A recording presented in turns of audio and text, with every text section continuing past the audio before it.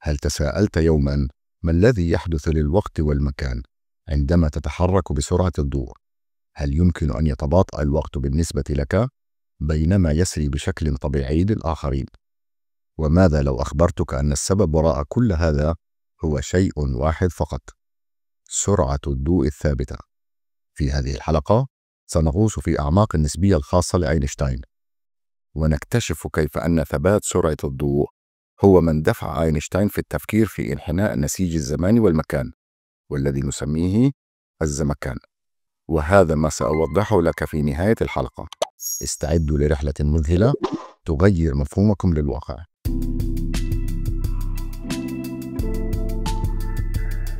السلام عليكم ورحمة الله وبركاته. مرحبا بكم. نحن نعيش في عالم ثلاثي الأبعاد حيث لكل شيء طول وعرض وارتفاع. فكر في الكرة التي تمسكها أو المبنى الذي تراه أو حتى نفسك. جميعها أجسام ثلاثية الأبعاد. لكن أينشتاين جاء بمفهوم ثوري يخبرنا أن الكون ليس ثلاثي الأبعاد فقط بل هو رباعي الأبعاد. البعد الرابع هذا هو الزمن. لذا فكوننا ثلاثي الأبعاد. هو في الواقع جزء من كون رباعي الأبعاد يعرف باسم الزمكان. لفهم الأمر بشكل أبسط. تخيل أننا قمنا بإجراء تبسيط وانتقلنا من ثلاثة أبعاد إلى بعدين فقط في هذه المساحة ثنائية الأبعاد.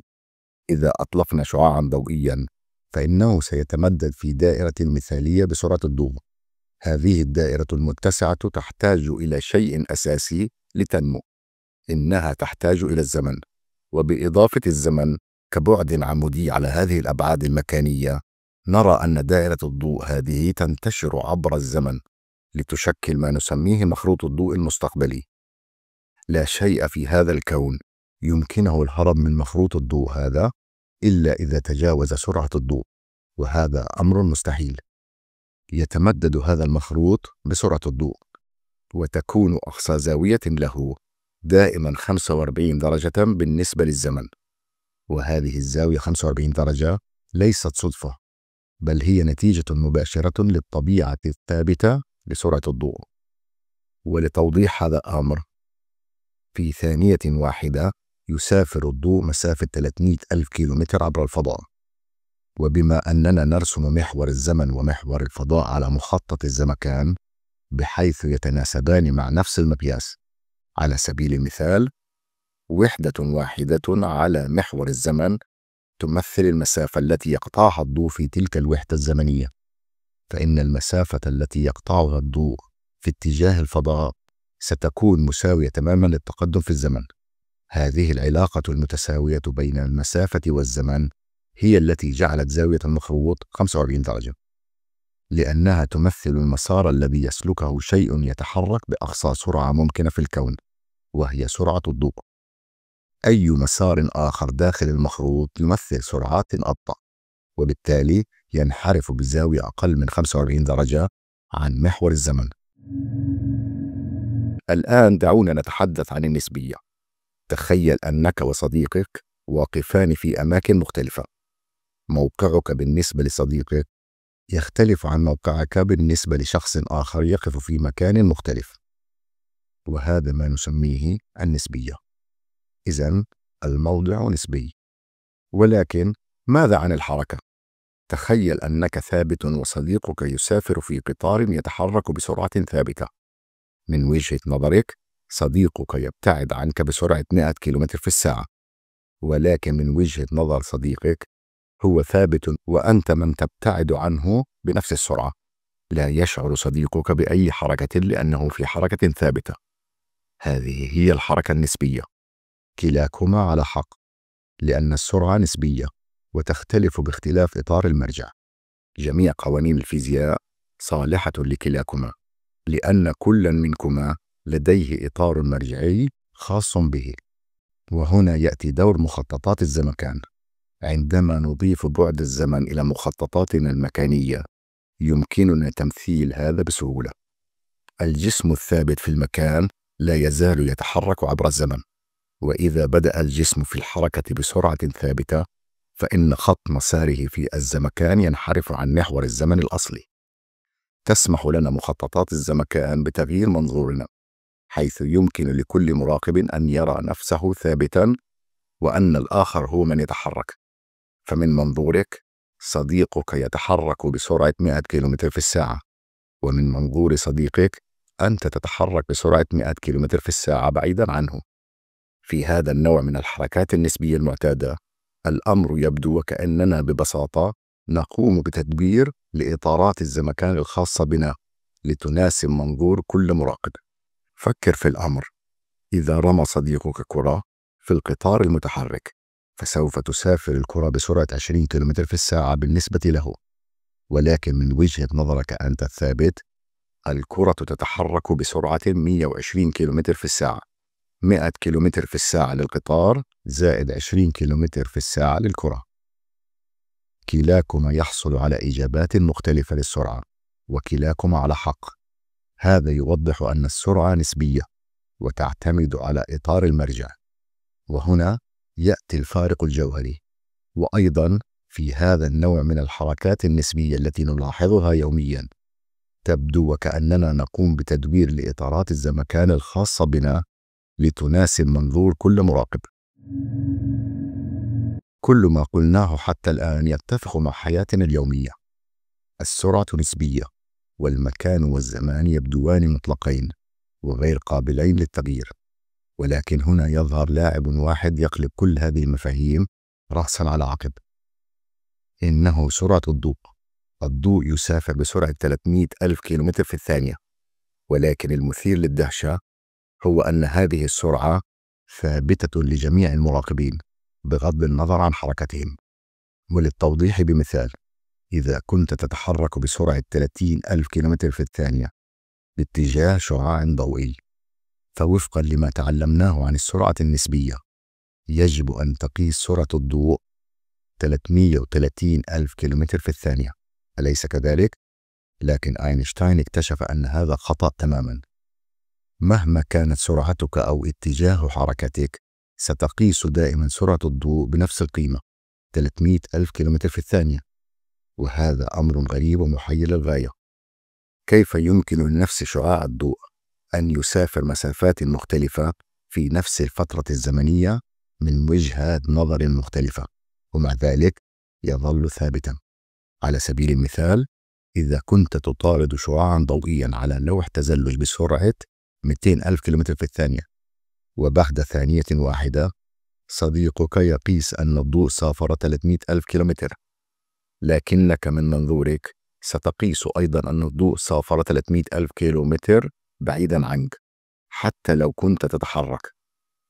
هذا يعني أن المسافة الإجمالية التي سافرها الضوء من نقطة البداية بالنسبة لك هي 500 ألف كيلومتر. 200 ألف كيلومتر مسافتك زائد 300 ألف كيلومتر مسافة الضوء عنك. كيف يمكن للضوء أن يسافر مسافة أكبر في نفس الوقت مع بقاء سرعته ثابتة؟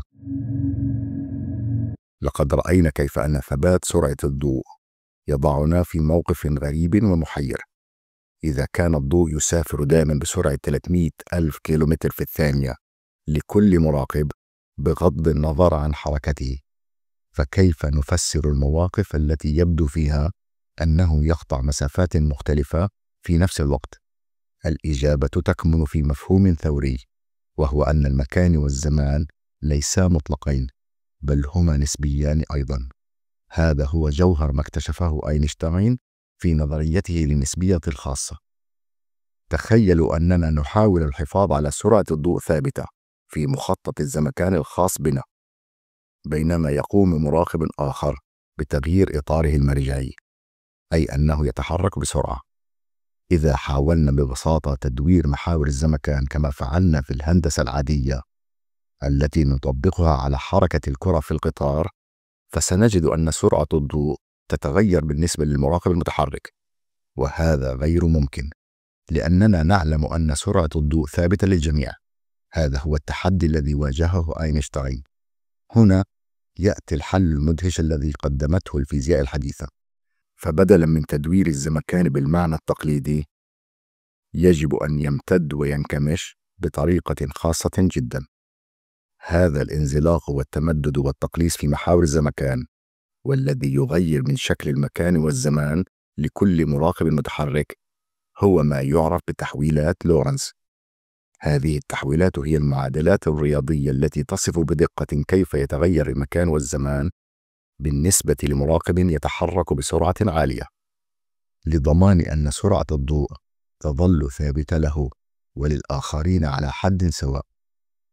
وهذه هي القواعد الجديدة للكون عندما نتعامل مع السرعات القصوى تخيلوا أن محاور المكان والزمان يمكن أن تتمدد وتتقلص وتلتوي بطريقة دقيقة ومحددة لكي تحافظ على أن سرعة الضوء تبدو كما هي لكل من يراقبها بغض النظر عن سرعته هو وما هي النتيجة المذهلة لذلك.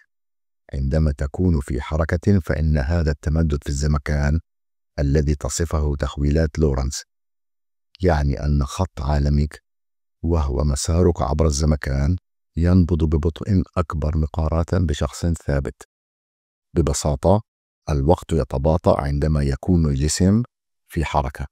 نعم لقد سمعتموني بشكل صحيح. الوقت ليس ثابتا لكل الناس.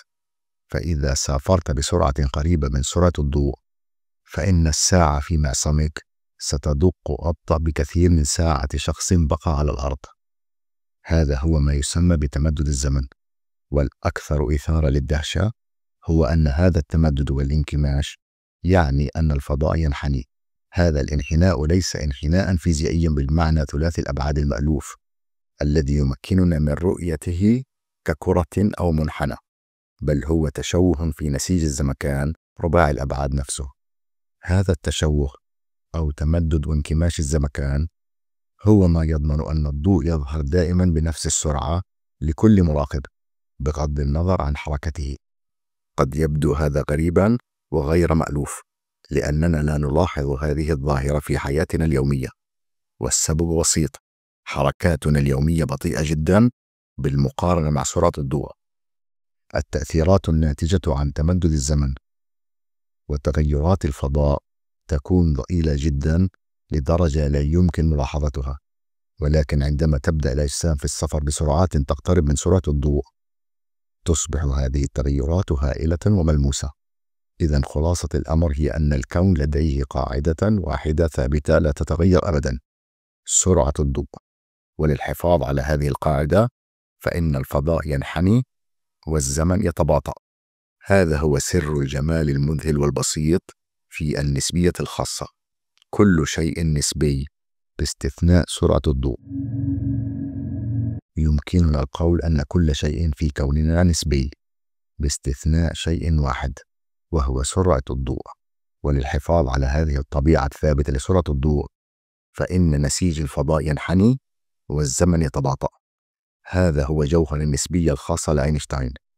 تأملوا معي هذه الدقة المتناهية التي يعمل بها الكون.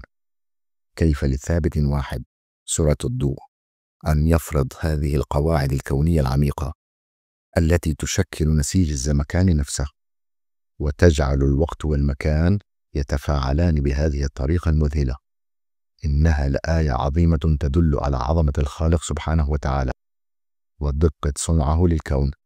وعجائب تدبيره التي تتجلى في كل تفاصيل من تفاصيل هذا الوجود. إنها تدفعنا للتفكير والتأمل في بديع صنع الله وقدرته التي فاقت كل تصور. والسؤال الآن ماذا يحدث عندما لا تكون الحركة ثابتة؟ بل هناك تسارع. هذا يقودنا إلى النسبية العامة حيث تلعب الجاذبية دورا رئيسيا. ترقبوا حلقتنا القادمة لمزيد من الاكتشافات المذهلة. إذا أعجبكم هذا الفيديو لا تنسوا الإعجاب والاشتراك في القناة وتفعيل زر الجرس ليصلكم كل جديد. شاركونا آراءكم وأسئلتكم في التعليقات. وإلى اللقاء في الحلقة القادمة والسلام عليكم ورحمة الله وبركاته.